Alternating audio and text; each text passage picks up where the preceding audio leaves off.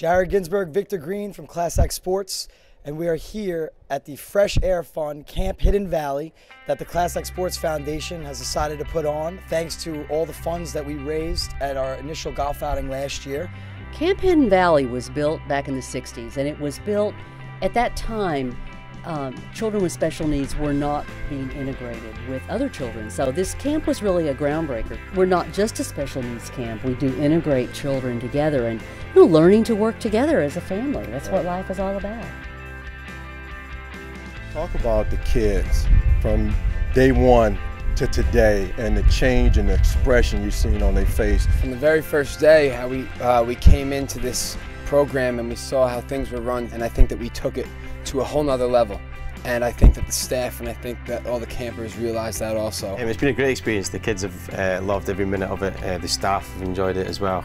Uh, and it's nice to see the kids get involved and just doing a lot of different things that, they're, they're, that they love.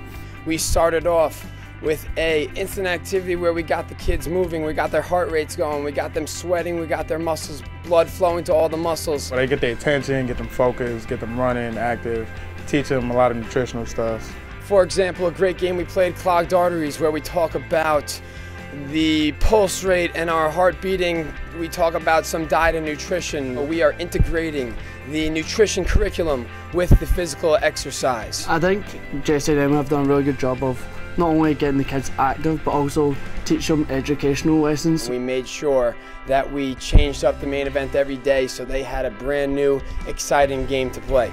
The activities we had to do, it was like, you know, challenging and, you know, fun and I wish we could do it again. It's been an amazing experience here. We are talking about living a healthy lifestyle, physical education, fitness. The kids absolutely loved it. We check up on them and they're sweating all the time and they're just excited for it. We told them that they're going to be here for four days rather than just two, and the look on their face was just ridiculous. They were extremely excited and happy. Honestly, this this camp went great, and I think we're just scratching the surface. I hope we're just scratching the surface. I think this is really just the beginning of what we'll be able to do in the next years and decades, hopefully. What they've learned from Class Act Sports, I, and I know this because they've told me this every day that you've been here, the life lessons at the end of the activity really register with them.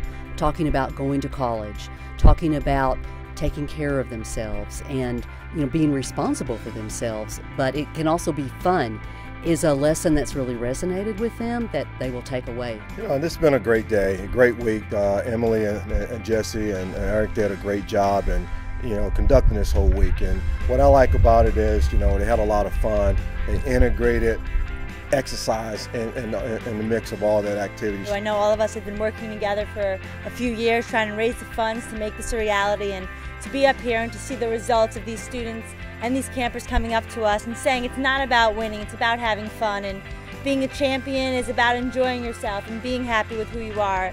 There's really not much that we could ask for and I think we learned as much from the campers uh, I think that they learned from us. So it really it was a dream come true.